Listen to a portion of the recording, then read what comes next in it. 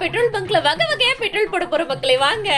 தம்பி வண்டிக்கு பெட்ரோல் போடணும். வாங்கண்ணே வாங்க வாங்க. Welcome welcome. சாதா பெட்ரோலா இல்ல மூலிகை பெட்ரோலா? அவர் கேக்குற பெட்ரோல் போறதுக்குள்ள நீங்களும் ஒரு லைக்க போட்டுருங்க. சரி சொல்லுங்க.